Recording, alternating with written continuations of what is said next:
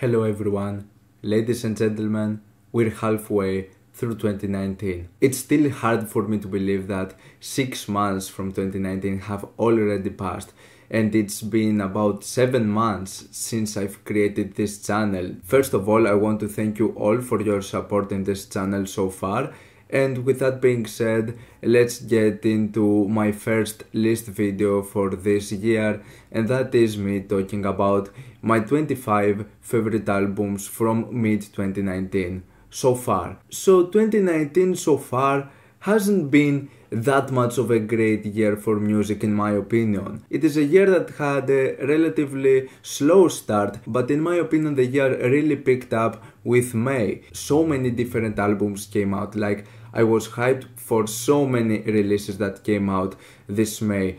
And I'm pretty sure that about half of the albums that are into this list are actually from May, just to show you how many albums just came out this month. Other than that though, it's definitely not a bad year for music, there are some great releases, but in my opinion I found a lot of albums that were a bit disappointing and I was probably looking for something more since 2018 was such a great year for music. But anyways, we still have 6 months left and there are definitely albums that I anticipate to come out this year, but so far these are the 25 albums that I've heard the most this year, that I've liked the most from this year. The albums are not in any particular order, so if you have seen my reviews, you already know my ratings on these albums, but in case you're new, I'm not going to go into a particular order with this one, I'm just going to pick the 25 albums that I happen to like the most out of this year so far. And with that being said,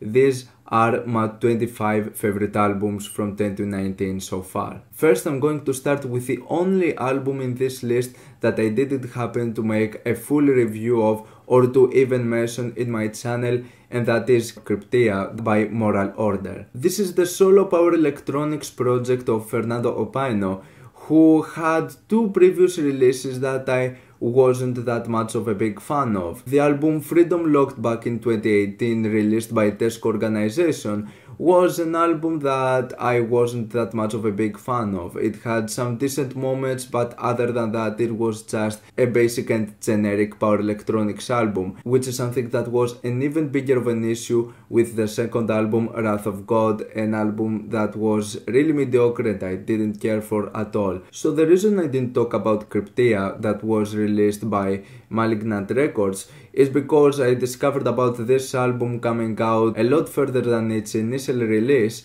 and I didn't have that many things to say about this album but what I can say right now is that this album is definitely an improvement in all fronts. Cryptia shows Fernando finding more of himself and what he is capable of to do with what he offers into the whole spectrum of power electronics and actually come up with something more original or something that is more straight to the point It happens to have a more direct and nasty feel to the whole side of power electronics.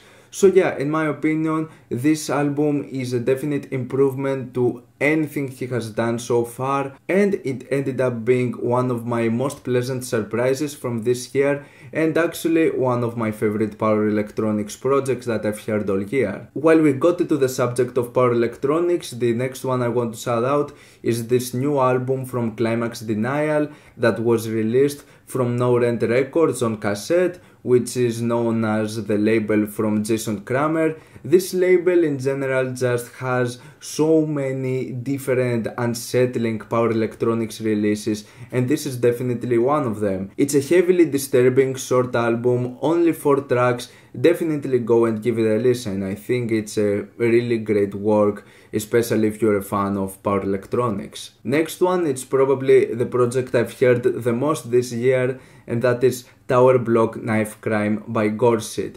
The more I listen to it, the more I end up loving more elements to it. While it has the issue that it's one dimensional and that there are lots of sounds that are pretty much identical, this is the harshest and the nastiest breakcore and power noise album I've heard in a very long time. And this is also one of the best projects of goreshit. goreshit was the first artist that shared my video in his Facebook page and that honestly made me really happy. I didn't expect that and I was just blown away. So yeah, this is an album that is definitely worth giving a shot in my opinion. Next one is Constantly in Love by Solveig Matthildur also an artist that saw my video and shared it on Facebook and I actually got to see her live with the band Kælan Mikla and I got my vinyl record signed. This is my very first signed record and I'm really happy about it. So yeah, this makes it a very special album for me.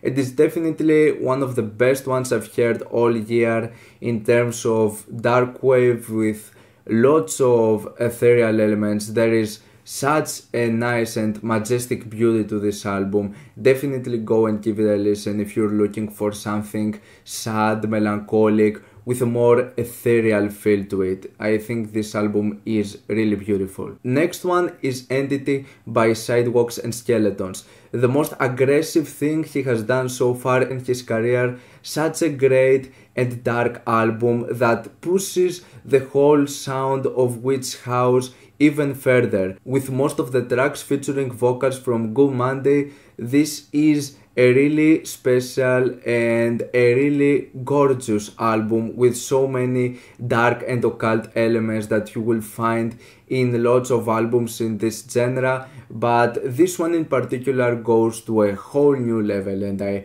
Really love it for that, for being that risky and for being that different. Next one is a project that was released in January 1st of 2019 and that was Bewusste Sterben in Wien by Rudolf Eb.er one of the most disturbing, unsettling, and one of the weirdest and most obscure albums I've heard all year. It's a 28 minute bizarre art piece with just so many weird and different sounds you might take it as a sort of relaxing but also really weird and unsettling dark ambient experience. But there is much more to this one with all these collage sounds and just this whole weird atmosphere surrounding this album. On the other hand one of the most beautiful albums i've heard all year is this collaboration of jim jarmusch and Jozef van Wissem and this is an album that was released by Sacred Bones Records. This is not the first time these two artists collab together,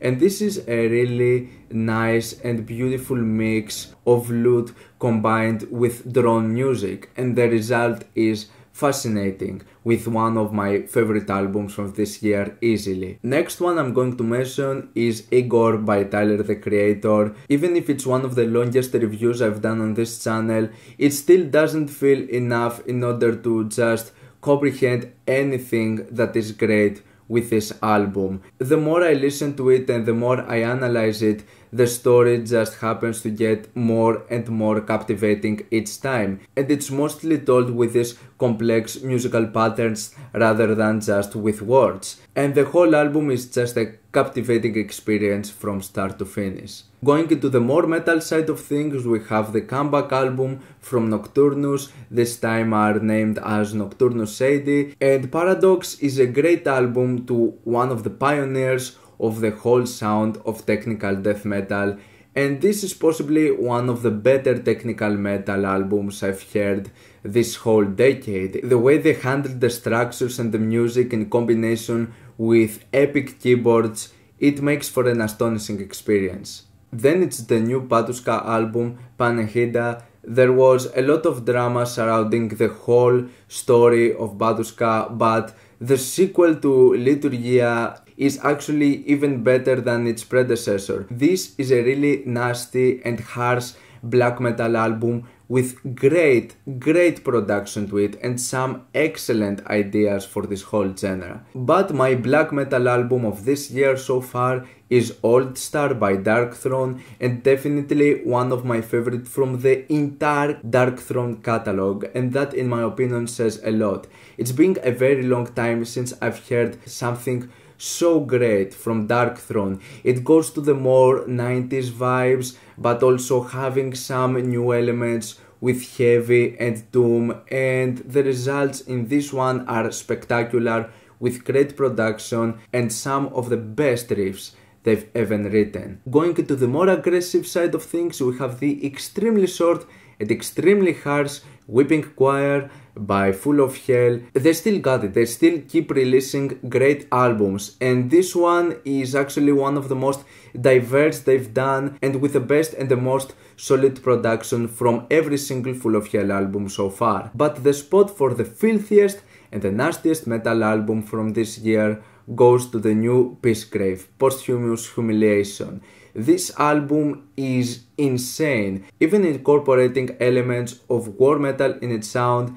This thing is disgusting, and it also has one of the most gruesome album covers of 2019.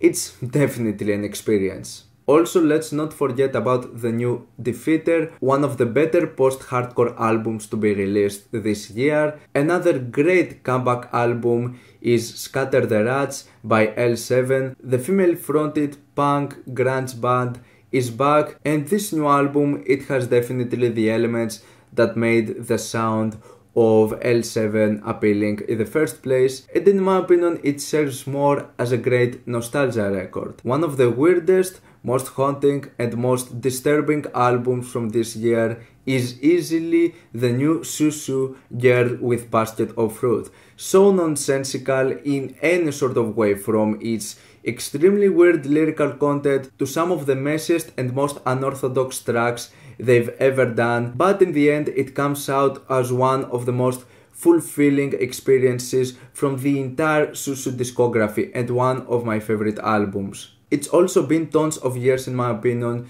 since the time we had a great Chemical Brothers album, but this is it. This album has a 90s feel, it goes back to the roots, it has a really clever way of sampling and it's definitely one of the better works the Chemical Brothers have ever done, one of the more solid electronic albums of this year. Carly Rae Jepsen with Dedicated is also back with a great pop album, maybe not as fleshed out as Emotion, but there are still some great great pop tunes in this one, such a beautiful and catchy album. Speaking of really fun, catchy and colorful albums, I was pleasantly surprised with this collaboration of Sia, Diplo and Labrinth also known as LSD. And yeah, this album caught me off guard. It had some legit great pop tunes one of the better hip hop albums of this year that took me a while to just vibe with it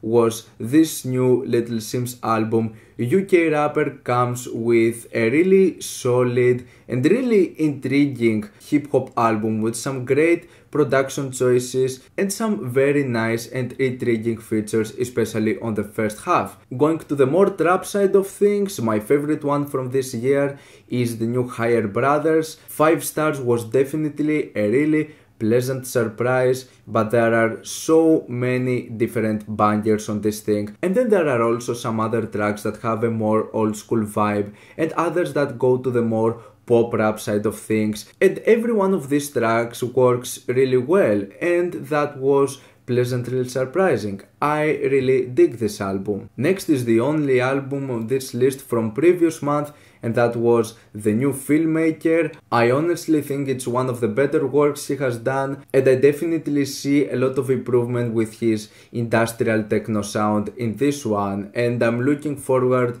if he's going to just keep up with something as dark and as interesting as this. Lament by Totaled is a profound lore records that I decided to go and listen to it and it became one of my favorites of this year. It captures greatly elements of black metal and crust punk and the combination is excellent with great and nasty production. Fears by Hante might be weaker compared to the previous two albums he has done, but it's still a great dark wave album with so many beautiful and nice moments to it and it's definitely one of my favorite dark wave projects of this year. And then last but not least, an album that disappointed a lot of people but I myself ended up enjoying it and that is the new album from Mac DeMarco, Here Comes the Cowboy. While it's a bit more different just for the fact that it's more minimal and more simplistic and it feels more effortless. I think this sounds as his most confident work, the album that was looking forward to release for a long time and didn't have the chance and he just decided to just release it in his own label. I myself like it for its silliness and I think it's really fun and catchy, having some great tunes to it. And that's all about it. Those are the 25 albums I wanted to mention from the mid 2019. What's your opinion of these albums if you have heard of them? And what are your favorite albums from 2019 so far? Let me know down in the comments. Leave a like if you enjoyed the video, subscribe for more content like this. Thank you for watching and I'll see you all in the next video. Goodbye.